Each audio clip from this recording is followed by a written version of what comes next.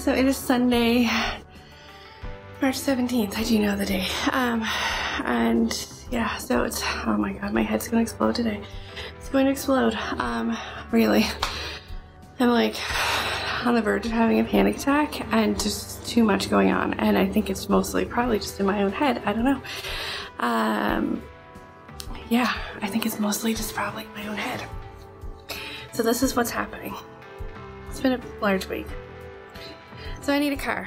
I need a car. I've been saying that over and over again to go to Ontario with. I have a car. It's an 06 Corolla with, I don't know. I don't know how many kilometers on it. 18 something million. I don't freaking know. My dad thinks that I need a newer one um, because he's not going to be there to fix it, which makes sense. Which makes sense. He wants me to have a reliable car that um, I won't have to worry about in case something happens and he's not there. It'll last me. So he's on the hunt for a car for me. And he's on the hunt because I know nothing about cars. Really, I mean a little bit, but really not anything. Dad's a car guy, so um yeah. But now we're down to 30 days and still haven't found a car. So he doesn't think my car will pass an out of province inspection. Everybody else does, but not my dad. My dad's never wrong, so um, I do have faith in that. but, you know, we don't want to spend a whole lot of money. So, anyways, him and mom just left. They drove to Halifax, two hours away, because he has a lead, or found one. It's 2010 Pontiac Vibe, bright orange. I don't. I don't, you know, I really don't care. I don't care what it looks like, what color it is, as long as it works and it gets me from A to B. I really don't. I never have. That's just how it works. I, no, I didn't go because it doesn't matter. I don't know anything about them anyways. Apparently it's a good price. Anyways, yeah, so thanks. he has to fix a few things on it, looking about like $5,000, which is great. It's great. For Jenn doesn't have any money. yes, I've been living here saving for the last few months, but like not a lot because I'm not gonna have a job when I go up there. And, you know, I don't wanna move in bride and not pay half of the rent the first month. I don't know. So it's just too much. My brain can't handle this today. It just can't. So dad's going to find a car. Um, yeah. And I'm just panicking because I'm like, okay, we could sell mine and get this amount of money. Still waiting to do my taxes because I have a mystery T5 slip that says there's a bank account somewhere that I uh, have been gaining interest on forever, but no bank that I've ever belonged to can find it. So there's a mystery bank account out there with my name and social insurance number on it. So I have to wait to do my taxes till they figure that out. Um, yeah, fun stuff. Um, so that's part of my week. Then work was work. Too much to even talk about. The whole thing. Uh, so I'm leaving. I mentioned in November. I was thinking about leaving. Christmas, pretty sure I was. gave them a timeline, pretty spot on for that timeline. Officially gave my notice the 1st of February. So now it's two weeks out from my original end date. They don't have a manager. I agreed to stay an extra week, which is, you know, good for them. um, hopefully they can find somebody. We did have somebody and it fell through for whatever reason. I feel like I'm actually being blamed for that reason, which I don't appreciate because I'm not. Um, so I hired three new people on Monday. By Saturday, two of them not good. One was a student. She found another job that suits her schedule. She came in and spoke to me about it, and it was great. And I appreciate it because it's happened. It's totally happened, and I'm not mad or irritated with her at all. I think it's great for her. She's a really great girl. So it left me down to two. The second person called me about an hour before their first shift. Something came up and they can't come in. So we have them scheduled again this week, and I'm really hoping they show up. But you have to show up for your first three hour shift, I'm not really going to hold my breath on that one. But the first girl we hired picked up those shifts and she's fantastic. So that I'm not too worried about.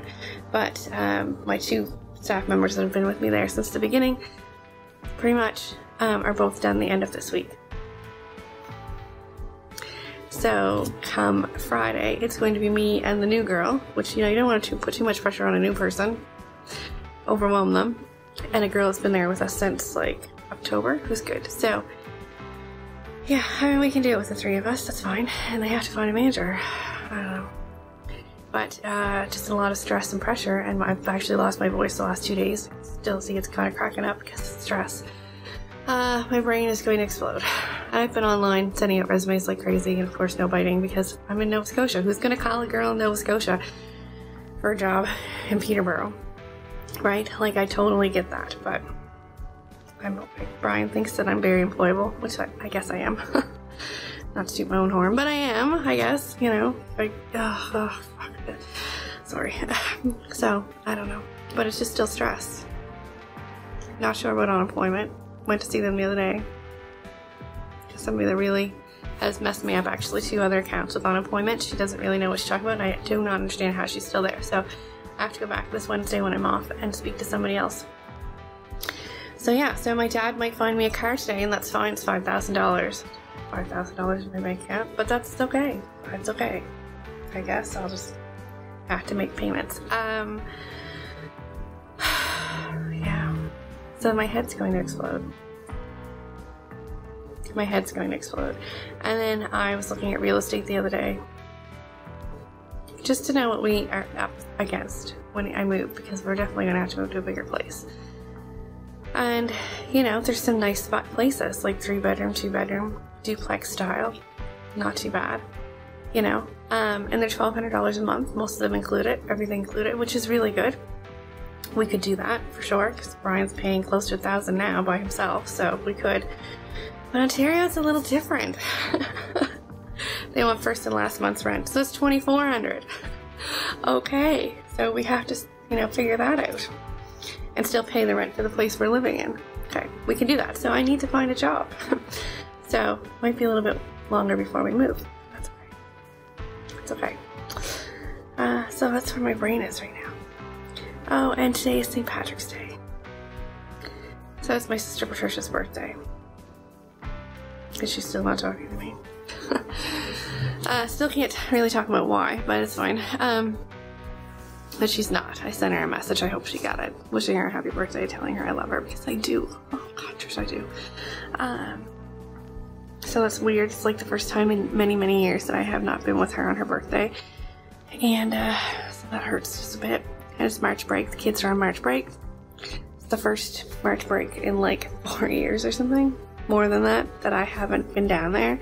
I've always taken some vacation days and gone down on March break and watched the kids and hung out with them and played with them, or they've come here. And I am not seeing them, so that's really strange and hurts a bit. Uh, more than a bit, actually hurts a lot. I was hoping we would be able to resolve this before I left, but I don't think we are and uh, I'm gonna start crying. So let's not do that. It's Emotional Sunday. And I really just miss Brian a lot. I miss you, babe. Like, tremendously. You have no idea, and I'm being all sappy, but I do. I miss him. Can't wait to see him. And yesterday was not a great day at work. Like, work was actually fine, and I worked with good people yesterday, and we had a good time, but like that stuff in the back of your mind. Like, we don't have a manager. And they made an offer to someone on the weekend and nobody's told me. Have they accepted it? Have they not accepted it? I've reached out. Nobody will answer me. So I'm trying to do a schedule for the next three weeks, and I don't know if this person said yes or no or what's going on. So I'm kind of feeling like left out tremendously. And I'm like, I'm still there and I'm still the boss, and I feel actually useless and not good. So and frustrated because I'm like, why can't somebody just say yes or no to me? I get the impression that they're just people are irritated with me and I didn't do anything wrong. And I'm actually offered to stay an extra week and like I'm doing the best that I can and I gave plenty of notice. so that was all in the back of my head yesterday and of course lunch Brian calls me and she's like, How's work? I'm like, Well, you know, I'm still dealing with this, other than that it's fine. And he's just like, Leave leave. 100% he supports me, and he does. And it's nobody's really. I've never been in a relationship with somebody that said that to me before. And I know that he, the best part is that he meant it. And so that was like, oh, I'm not leaving. I committed to something and I'm staying. So. But part of me wants to, but I can't do that. It's just not in me. But it was nice to hear that from him really nice to hear from him actually. So it's good. Made me miss him more. I can't wait to get up there. And today is actually our 12th, our 12 year anniversary on Facebook, me and Brian. Like, it's funny, I seen that this morning and I'm like, my god, 12 years on Facebook, 24 in real life, that's crazy. Um, yeah, so my parents are going to look at a car. I'm having a mental breakdown because it's coming up really quick, like literally 30 days. I feel like vomiting. So I'm going to go power clean my parents' house, get rid of some of this anxiety, which I should be doing anyway since they're letting me stay here so nicely of them. So I am definitely to go scrub, clean everything, and sweep the dog hair. And my dog's being an asshole. Charles, he won't even look at me for like four days. I've taken him for walks and everything. He won't look at me when we get home. He won't sleep in my bed. Nothing. He's being a little jerk. I tried to pick him up, take him to bed with me last night, he growled at me. So, yeah, that's my life. Um, probably actually gonna cry for like 20 minutes and then psych it up and do what I gotta do. So yeah, Jenn's Big Adventures, fun stuff. Fuck, what the hell was I thinking? Still, that's my mindset today. In the back of my head, I'm like, man, maybe Brian's not gonna get on that flight. I know he is. At least I hope he is. But it's like so overwhelming for both of us. I don't know. So, anyways, yeah, that's my day. That's my day. My day. Maybe I'll have a car at the end of the day. I don't know. Bright orange. Pie. It's fine. It's fine. I don't even care. I just don't. I just want to be done and under budget. Okay. Bye.